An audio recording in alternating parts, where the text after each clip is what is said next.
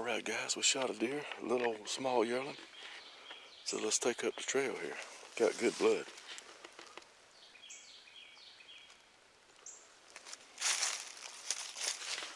It's about a maybe a, a eight, seven, eight yard shot.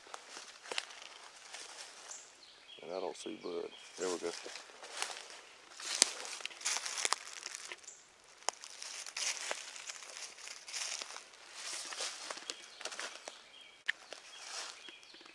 There we go. That's what they own, them water oak acorns there.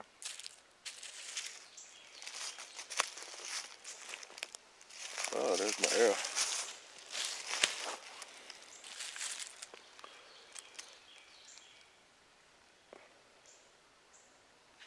Wensel Woodsman, fine broadhead.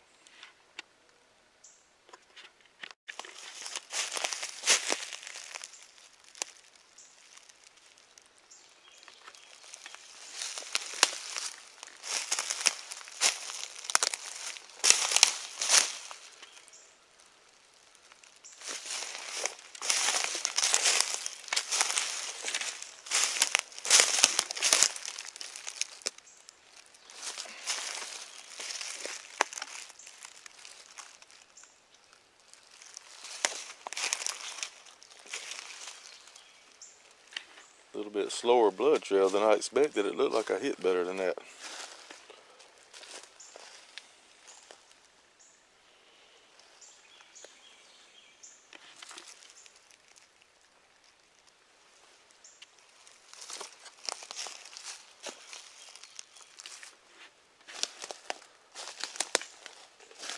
Hmm.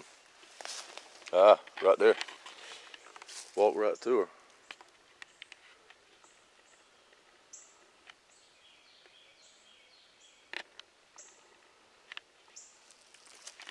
How about that? I was lined up behind them trees right there and didn't see her. I know it ain't blood all the way up there. Look right there.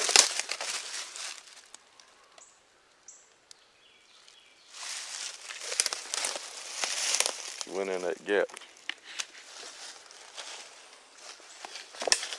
Good blood, good blood. A little young deer, but I'm proud to get her. No spots makes her legal. See some good, good eating right there. We'll set her up, do a little quick show and tell. Get her in the sack and get to the house. Alrighty, we bagged us a, a little yearling here this morning. I'm, I'm proud to get her. It's not a really big deer, but it's a really good shot. Hey, I'm thankful. These they good to eat. Good to eat. We'll have back straps for lunch.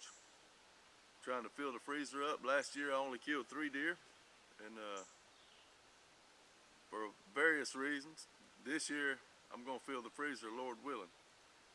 Now this will be number three for the year, and uh, four hogs. Uh, the third deer I've killed, and one hog with my T White persimmon bow right there. Thank you, Lord, for for for a fine morning. I feel blessed.